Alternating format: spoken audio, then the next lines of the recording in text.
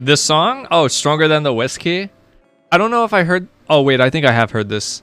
I was pretty bad back then. Truth be told, I was. Couldn't make it through day. I, I honestly drank every single. Like, even when I was sick, you know, even when I was feeling like already hungover from the. Like, I, I was drinking. Every, it was bad. It was really bad. Not good, man. Uh, what today is actually March, right? Yeah, it's March 5th. I've been sober for three years. Two, okay, so two years and 11 months. I'm about to be three years sober next month. Thank you, man. I, thanks a lot. I, I do appreciate that. Thank you. Not a lot of people congratulate. Here's the thing, too. Not not a lot of people know that I was like uh, an alcoholic. People that watched my streams do did they knew, but like some people in my family even don't know that I used to do it because I, I used to hide it pretty well. You know what I mean? I wasn't out like sloppy drunk at family get-togethers or anything like that all the time. I only drank at night when I streamed Smash. I'm not even joking. I, I really just had to be drunk to stream Smash. And that ought to tell you something about Smash. The song is about being a slave to drink, always wanting it. Yeah, yeah. Lots of people have actually, you know, written songs about being an alcoholic. It's it's not uncommon among songwriters, musicians in general. It's just uh yeah. And, and even even people who aren't actually struggling with that make songs about it because it's relatable, I guess.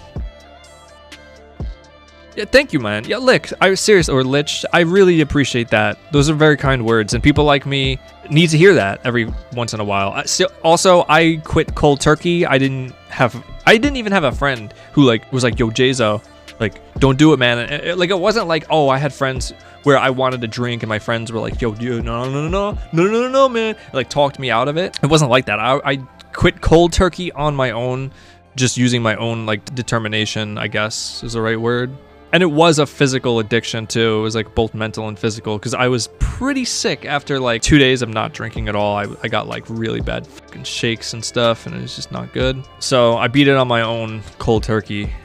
I really do appreciate that. So, like I said, people who have been through it like that, you know, we need to hear it from time to time.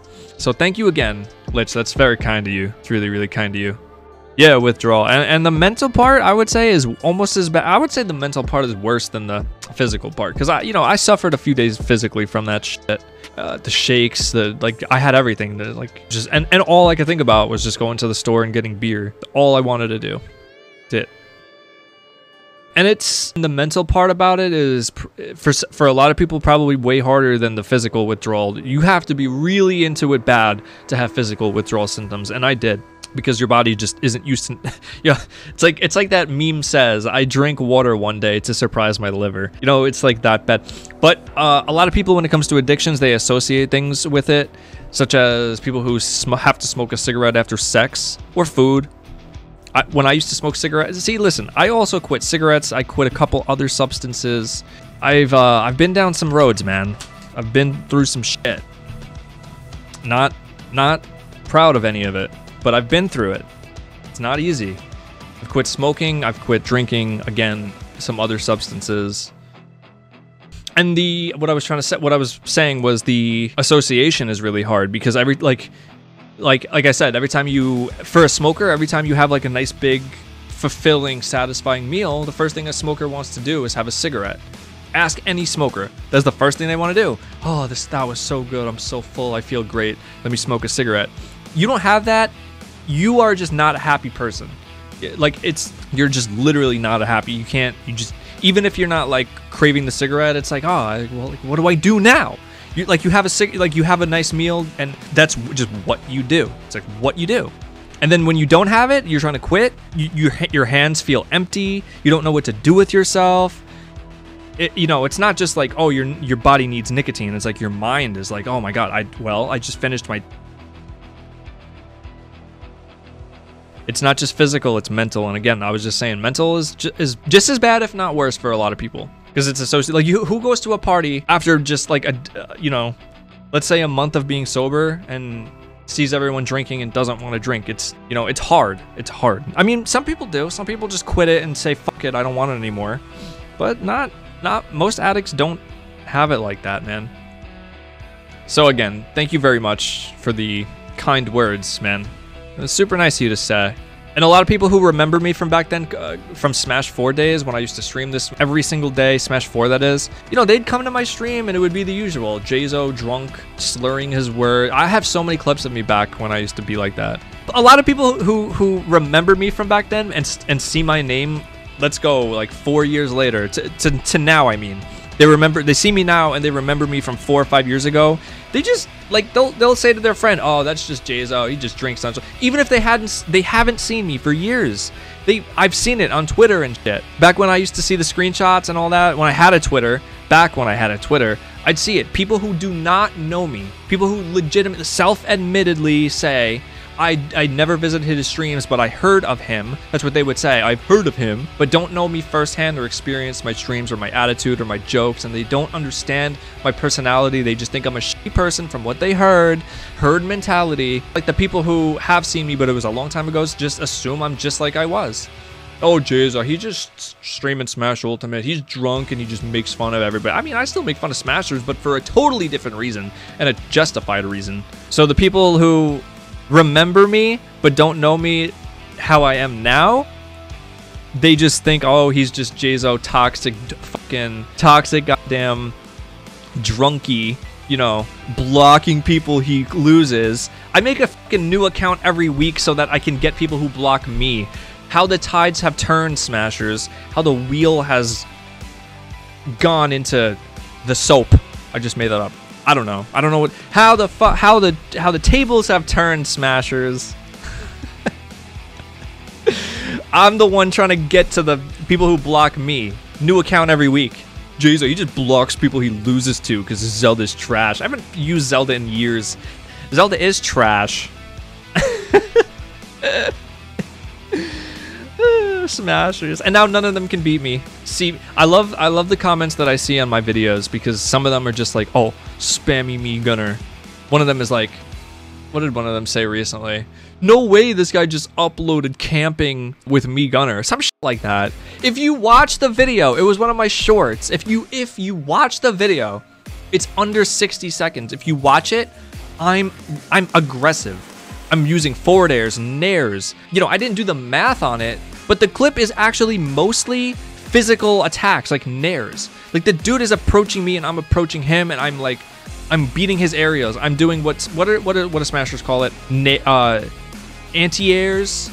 You know, preventing people from like jumping over you and using aerials on you. Anti-airs. My nair is their anti-air. So I'm I'm you I'm preventing their approaches and I'm approaching forward airs, back airs, and the the the fucking clip is 60 seconds of me being aggressive. Somehow they call and somehow my comments are people who are like spamming Mii Gunner did you watch the video? That listen, that's why I also think that Smashers are fucking programmed to just not like Mii Gunner because it, it, like it blows my mind how how people will comment Smashers.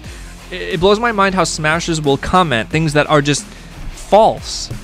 Like they'll they'll actually just comment like a, a video of a red apple, and and the title will say this is a video of a red apple sitting on a desk, and that's the video. The video will be a red apple sitting on a desk for like, say, three minutes or something. Smashers will comment on that video saying, There is no apple. The apple is not red. it, it is not sitting on a desk. Smashers are almost as bad as. No, no. Smashers are worse than flat earthers. They're worse. Flat. I'd rather be a flat earther than a smasher. God damn it. Conspiracy theorist. Because smashers like again there's they just say things that are false and agree with the it's that's why uh, that's another reason that i i say it's a cult. They just somebody at the top or known or with a couple thousand followers on twitter will say something that is either not true or a, or an opinion just completely false or again like just an opinion whatever. And like thousands of people will follow it. It'll get like a bunch of retweets, hundreds of retweets, and just they'll go along with it no matter what it is. And Smashers will go along with it even if it's just an opinion, if it's a known kind of known player, a couple thousand followers, you know, which is fucking nothing. I love when Smashers think they're tough shit because they have you 15,000, you're nothing. You're literally nothing. That's why I think it's a cult, partially. Because no matter what, no matter what anyone on the outside says, they're wrong and they should be canceled and fuck them and hashtag ban X person. But if someone at the top of the Smash food chain, someone with a few thousand followers, someone who labs, spends so much like all this time in the in the or anyone with even a tournament result says something, even if it's like just an opinion, everyone goes along with it. Their leaders can do no wrong. That's like the main you look up some of the, the the foundations of what a cult is, cult like behavior. Outsiders are bad, the leaders can do no wrong. Those are like the two basic founding solid rocks that hold up a cult. The leaders and known inner in people that are in it can do no wrong and they're always right. People on the outside who disagree with them collectively fucking attack them. That that's that's the cult for you. And that's what Smash is like. And I've seen it firsthand. I've seen Smashers disagree with something that had uh, a tweet or something. It was a Reddit post. I'll try to find it if I can. It was a Reddit post. It had like it, it, was a comment on a Reddit post, and I'm gonna play your song in a minute, Lich. And it, it said something like stupid, but you know, it, it was it was some guy's opinion, and it had a bunch of down votes. You could see it was in the negatives, a little down doots. It was like negative 19 or something. And then you scroll up a little bit. You scroll up, doodly doodly doo. It was a big thread. It was a big ass thread.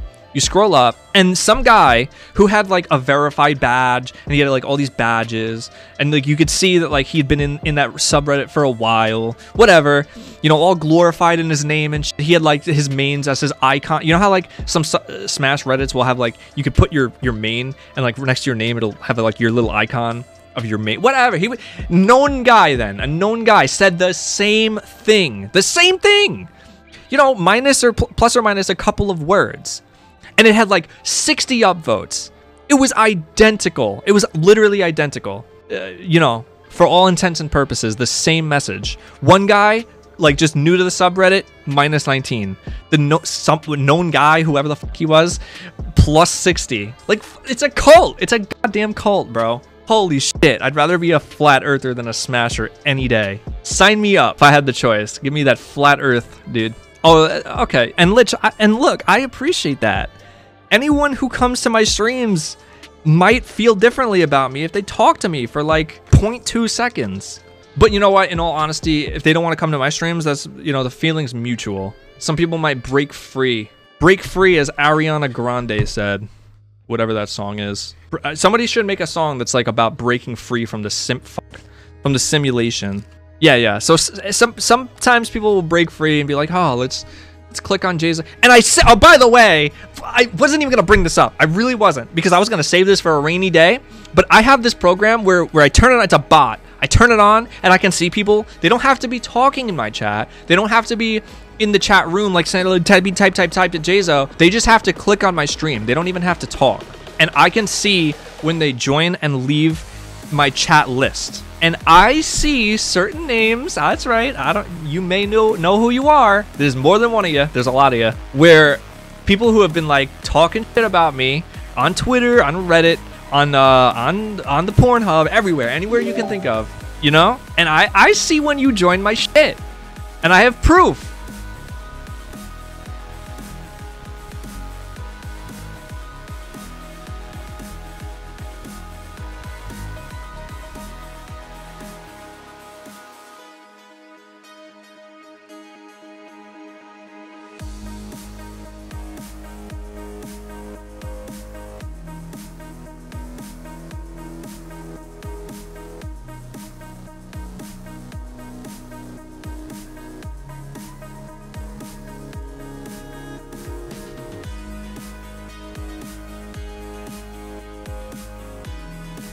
And you're gonna be like, well, Jizo, oh, you're so weird for keeping proof. Well, this is the reason I keep the proof. Because you you goddamn smash deniers.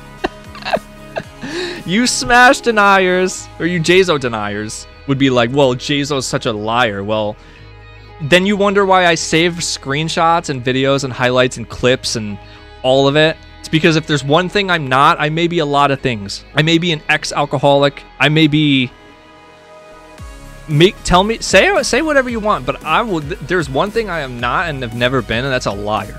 I back up everything I say with screenshots and all of it. Just look at my vlogs and videos. All right, now that was a very very long rant. but that is going to make a very good highlight.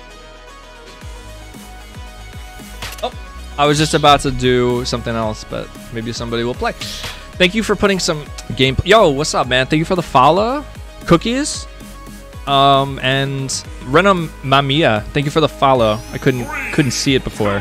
Appreciate it. Thank you for putting on some gameplay, cookies. It's nice of you. I was thinking about making a whole vlog, like a proper vlog, about certain aspects of the video game itself. Of course, I wouldn't take all the credit. I wouldn't take credit for the ideas, but you may be not interested in making a vlog like this. In any case, I just wanted to put that out there because it may be on its way.